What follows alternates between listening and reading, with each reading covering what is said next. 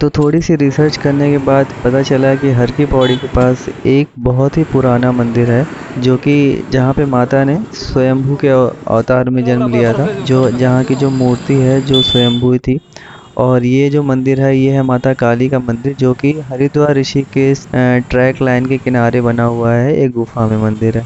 इस पर जाने के लिए आपको सीढ़ी की सहायता से और ट्रैक को ऊपर से पार करके जाना होता है। जैसा कि आप देख सकते हो, यहाँ जो मूर्ति है, वो स्वयंभू है और पास में ही आपको गुफा भी दिखेगी जहाँ से ट्रेनें आती जाती तो इतना देखने के बाद अब हम चलते हैं अपने एक नए सब तो क्या आपने कभी सोचा कि हरिद्वार का नाम माया नगरी क्यों पड़ा? तो हरिद्वार का माया नगरी नाम जानने के लिए हम पहुँच जाते हैं। आज हरिद्वार में बसे बावन शक्तिपीठों में से एक माया देवी का मंदिर देखने। तो माया देवी का मंदिर की कहानी कुछ ऐसी है कि यहाँ पे जब माता सती ने अपना देह त्याग कर दिया था तो उसमें से जब विष्णु द्वारा सुदर्शन चक्र का चलाया गया था तो उसमें यहाँ पे माता की नाभि और हृदय गिरा था।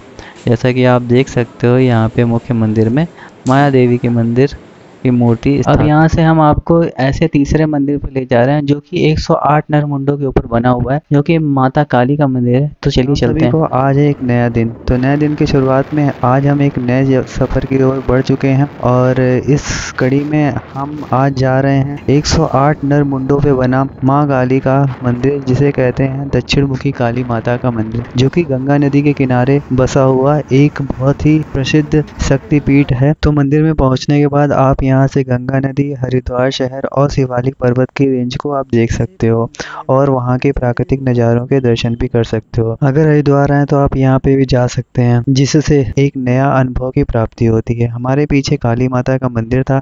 इतना करने के बाद हम पहुँच गए थे ऋषि कुल के पास। वहाँ पे गंगा माता के दर्शन किए, ढलते हुए सूर्य भगवान को नमस्कार किया और भगवान से आशीर्वाद लेके निकल पड़े थे हम एक नए सफ़र की ओर। तो मिलते हैं आपको जल्दी नए ब्लॉग तो चैनल पे नए हैं तो ज़रूर सब्सक्राइब करिएगा, ताकि आने वाले जो नए वीडियो हैं, उसकी नोटिफिकेशन आपको मिल जाए। और कभी अगर आपको इधर उधर जाने का मौका मिले तो आपको सही गाइडलाइन का जो सही तरीका है, वो पहुँच सकें, ताकि आपका टाइम बर्बाद ना हो। तो जाते जाते ज़रूर सब्सक्राइब करिएगा। मिलते हैं एक नए ब्लॉग, नए वीडियो के साथ। Thank you for watching do subscribe जय हिंद, जय भारत।